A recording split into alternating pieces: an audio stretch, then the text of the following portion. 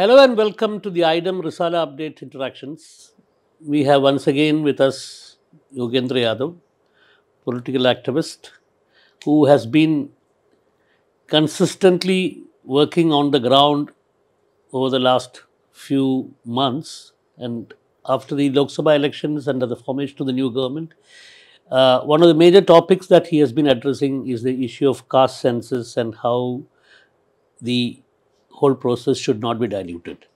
But then, since we have Yogendra with us, we are not going to confine to that topic. We'll look at some of the developments or developing political stories that are happening in this country, including the forthcoming assembly elections to Haryana and Jammu and Kashmir. Yogendra, welcome once again. Thank you. Yeah. So I think Kyle, we are just going to see the first phase of polling in Jammu and Kashmir in the next couple of days. And of course, Haryana is also going to poll in early October. So, uh, what is your sense at this point of time as to how things are developing in these two states? Uh, Venkat, honestly, I've not been to any of the states as yet. I mean, I traveled to Haryana because it's my home state, but not really to observe elections. Um, and therefore, uh, I don't think I'm the right person to comment on the trends. Uh, and uh, also, uh, one of the things I said after the Lok Sabha election was that I'm actually not going to make any election forecast. I Right. had to do it under very, very special circumstances. I don't want to get into that business again. You were very kind to cover it at that point, and No, it was no. important. It was a national duty at Yeah, that time yeah, to say these things. yeah. Now, this is elect- one more election. Yeah. Uh, in Jammu and Kashmir, to my mind, the most important thing is that the elections are happening. Okay. Uh, that this should be a step towards restoration of statehood and possibly of some kind of special autonomy Hmm. that Jammu Kashmir has enjoyed Hmm. and uh, which is necessary and essential to retain that bridge and bond uh, that we have created with Jammu Kashmir. Uh, so, in that sense, irrespective of the outcome, the more important thing is elections are being held, that people are participating, and uh, uh, let the let the democratic process be in full flow. That's what matters to me more than anything else. Uh, it also uh, exposes, in a sense, the uh, big claims that the BJP has been making. Uh, the BJP said that after uh, abolition of 370, you know, it has brought great boons to people of Jammu and Kashmir. Uh, it has uh, completely normalized the situation, that people are welcoming of it. Uh, one of the tests is already conducted, the second remains to be done. Uh, if abolition of 370 had created such a wonderful situation in the Kashmir Valley, and if the people of Kashmir was were so much welcoming of it, why did BJP not put up many candidates yeah. there? I mean, that's an odd thing, isn't it? You know, Yeah, yeah. if you have done such a great work in Odisha, you would go and put up candidates in Odisha. Why not? I mean, there's something odd. So, I mean, in a sense, that tells the lie of the first part of the claim. The second is about Jammu. I think we need to really see because, to my mind, uh, abolition of 370 hasn't been a great idea for Jammu, Jammu, as well Yeah. because uh, people of Jammu enjoyed a special status, mostly Hindus, but Jammu has Hindus as well as Muslims. Uh, they enjoyed a very special status and special rights as far as property is concerned and some other things are concerned. That right, however, has uh, been taken away. So I don't think people of Jammu may be very happy with it, but let's see. Um, yeah, and also there is this question in Ladakh because you know Ladakh has got a, a number of issues which are very specific to Ladakh. Absolutely. And as you know, Mm. uh, when Ladakh was made a union territory, the first response of the people was welcome it. You know, we've been liberated, you know, great, good riddance, and so on. And frankly, the fact is that uh, uh, under the state of Jammu and Kashmir, Ladakh was actually a very neglected territory. Uh, uh, that uh, politicians, both of Jammu and of Kashmir, didn't care very much for Ladakh. So, yes, initially they thought this was great liberation, but then they realized that actually this is just being consigned to even further neglect. Yeah, Earlier, they were under the benign neglect of uh, Srinagar. Now the benign neglect of Delhi, which is far more distant Yeah. more difficult. So now they're taking a march. Yeah. Uh, Sonam under Sonam Wangchuk is- they are taking a march. It's a historic march. It's Yeah. a very Gandhian thing to do. Mm. They're marching all the way from Ladakh to Delhi. Yeah. Uh, so that really tells you something about the kind of situation that prevails. Uh, so to my mind, uh, unfortunately, abolition of 370 did not improve the situation. It made matters worse. And uh, let us hope that this election would be the beginning of mending the situation somewhat. Right. Right. Uh, on Haryana, uh, think the simple fact is that uh, Congress enjoys a very significant advantage. It's a beginning ad- advantage. I don't know what the final outcome will be, but at the starting point of the race, Congress starts strong. It starts strong for two or three reasons. One, psephologically speaking, simply looking at the lie of the land, uh, Congress and BJP got five seats each. Each. Yeah. Now we know, if we go by 2019, BJP, whatever BJP's performance in Lok Sabha election, in a state election, BJP comes down substantially. Uh, when That has been the case in almost all states. that's right. Uh, uh, Haryana, especially, you see, Hmm. in 2019, BJP led in 80, in, in 79 out of uh, 90, 90. uh, segments. Yeah. And when, so nearly 80. And when it came to assembly election, BJP was down to 40. Yeah. Now, uh, it's 5 and 5 uh, in terms of electoral uh, uh, segments. BJP led in 42 out of 90. So if from 70, 80 they come down to 40, from 42, where would they come down? So that's one simple fact. Uh, uh, second is that uh, in terms of there, there's enormous anti-incumbency. Uh, when they had to remove Mr. Khattar after nine years of rule, you clearly are admitting that we can't go with this face to the to the local election. So you've conceded defeat. Right. Mr. Naib Singh Saini is uh, mostly a harmless person who has left no impact whatsoever. Most people in Haryana would not even know his name. Mm. Uh, so they go without face, they go with enormous anti-incumbency. That's the second. And factor. also the internal problems with even a minister refusing to shake hands with him. yeah, after yeah, being yeah, yeah, all kinds of. Uh, Yeah. so, so, so Haryana is once again a situation where BJP's internal faction fight uh, almost matches Congress. In fact, almost kind of outmatches the Congress. Okay. which happens very, very rarely because Mhm. Congress is a party known for open display of disaffections. BJP maintains that outer facade, but even that outer facade is broken in the case of Haryana.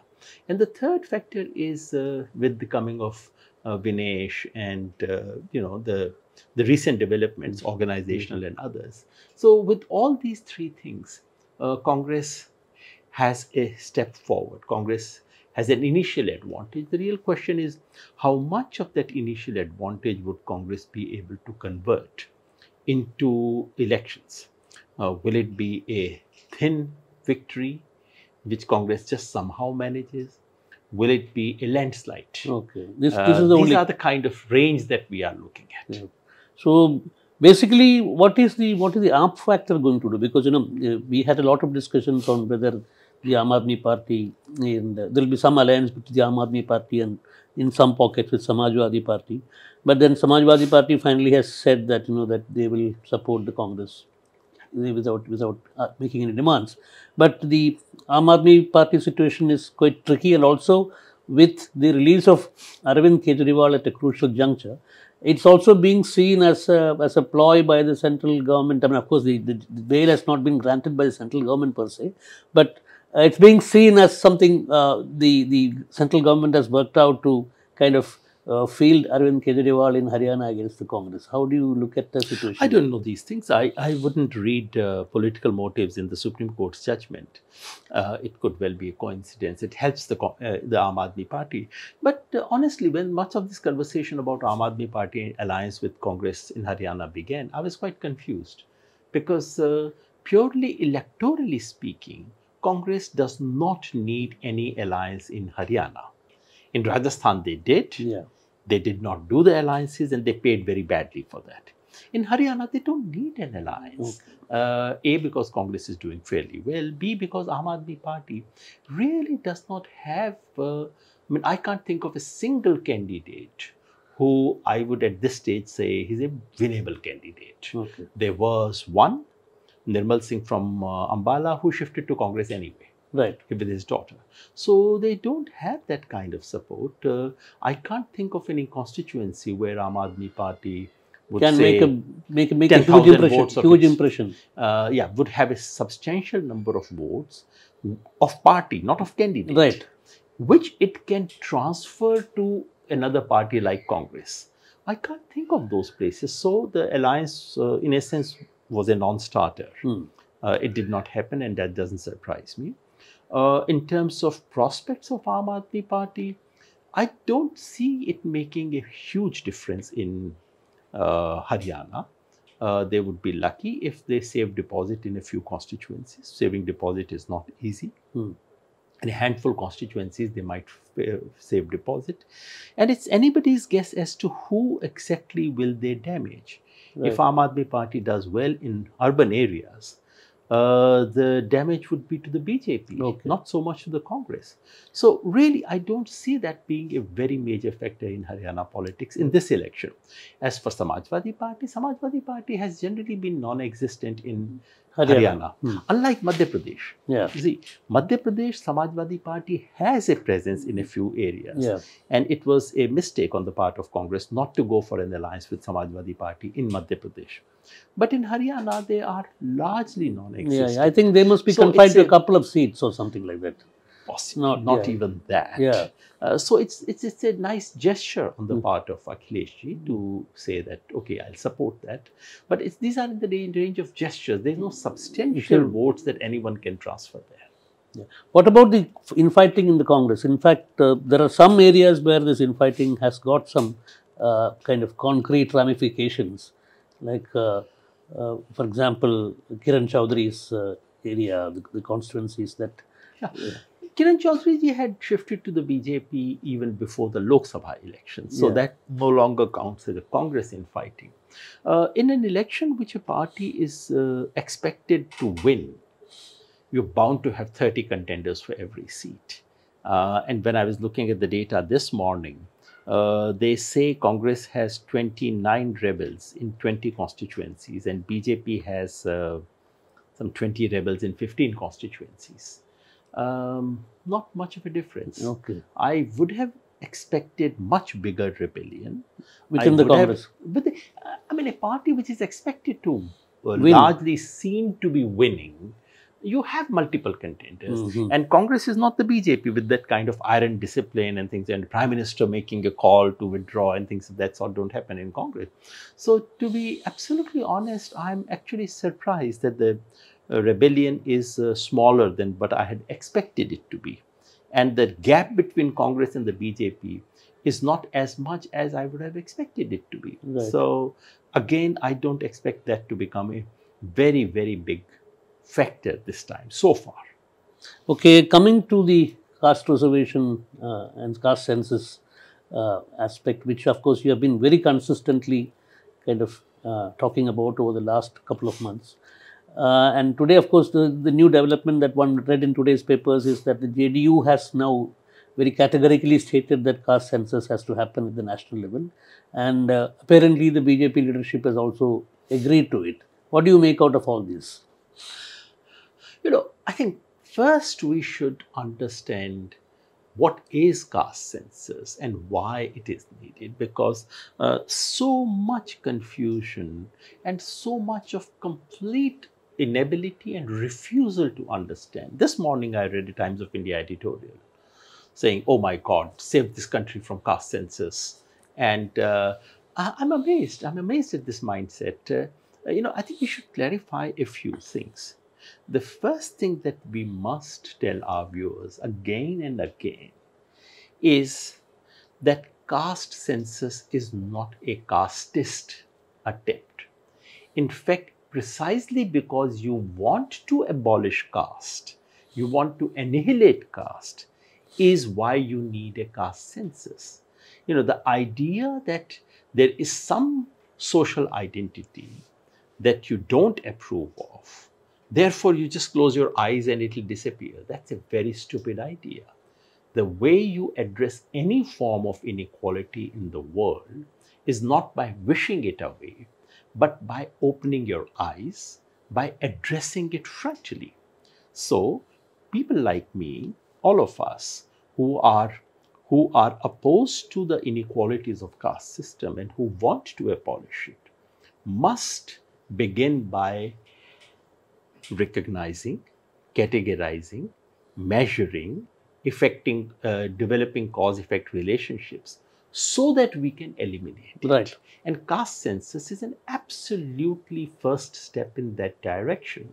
Somehow, everyone mixes, you know, in a slip of tongue, you also said caste reservation, caste Yeah, census. yeah. Because in everyone's mind, these two things are completely mixed Yeah. and uh, today's Times of India editorial. It's a it's a it's a rant against uh, caste reservations, whether they like it or not. But I've been saying one thing.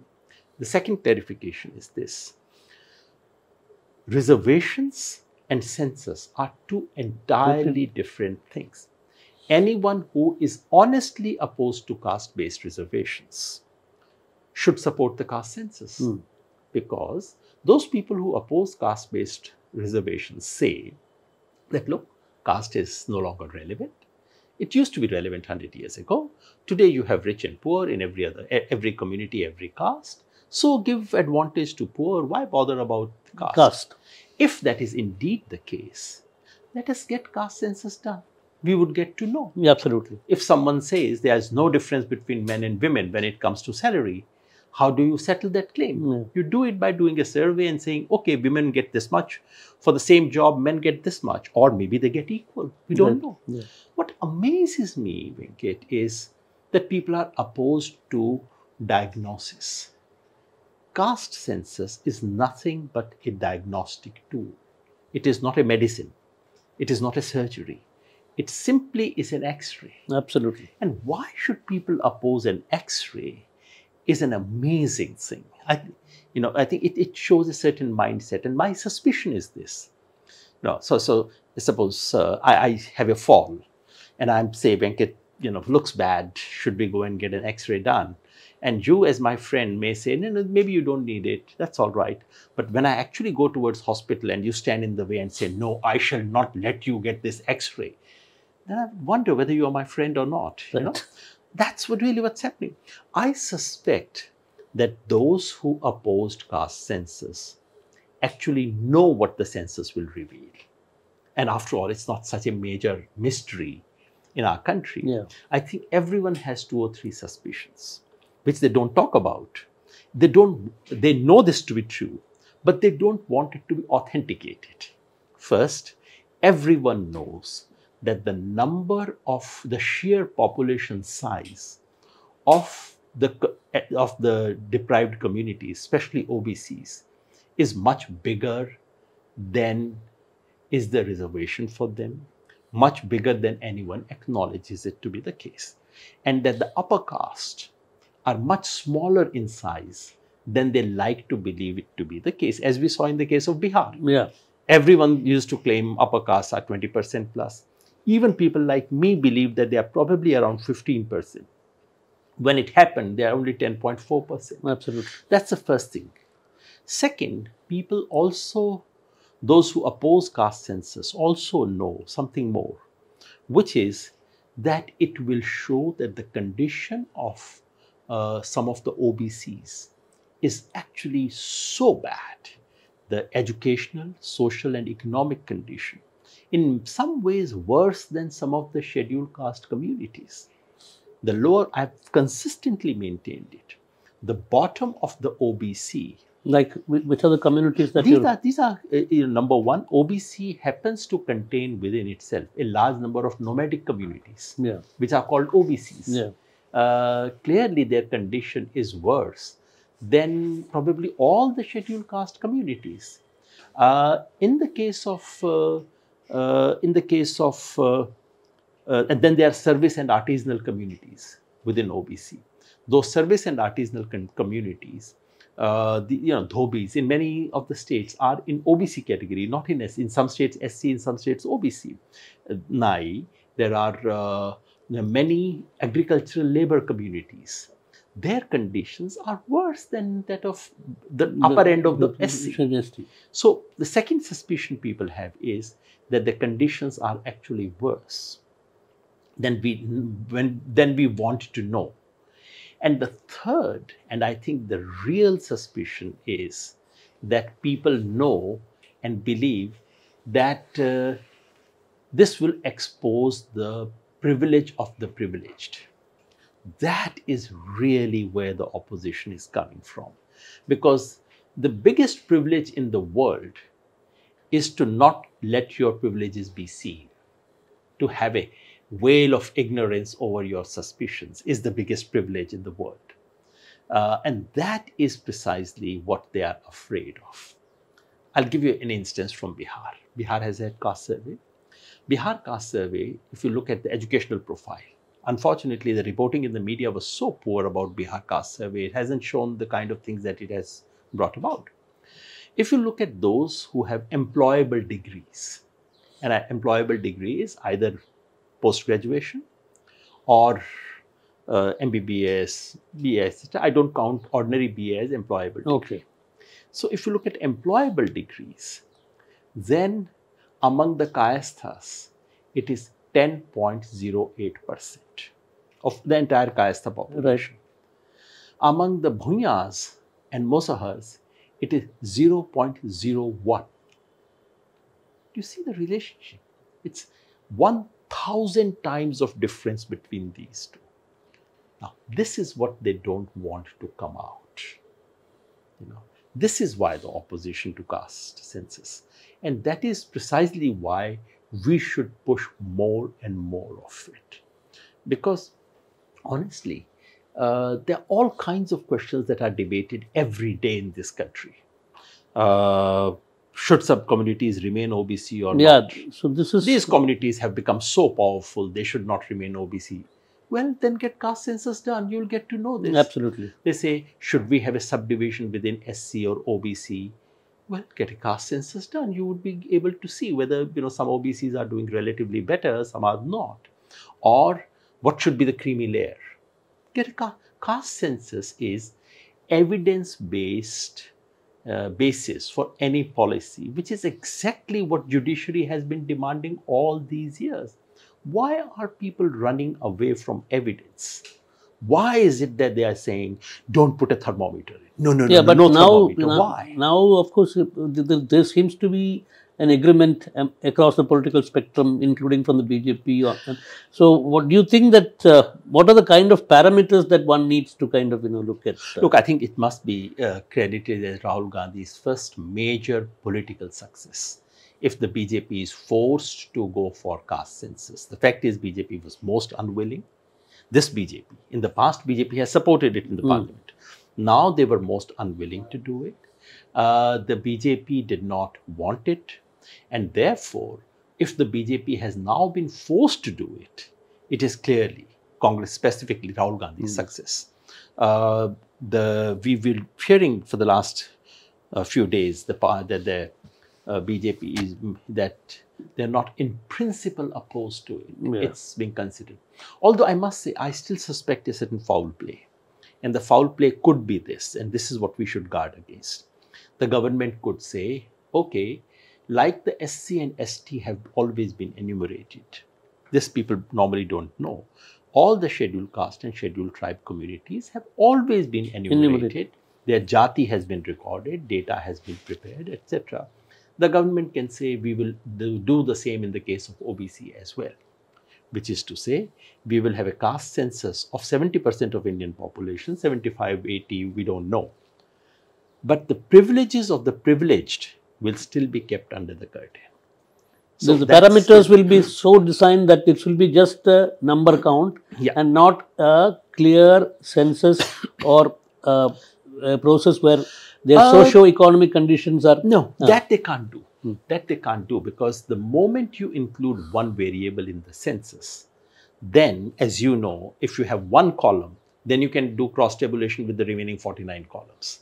That they cannot prevent. Uh, the game will be to keep the upper caste out of this. okay.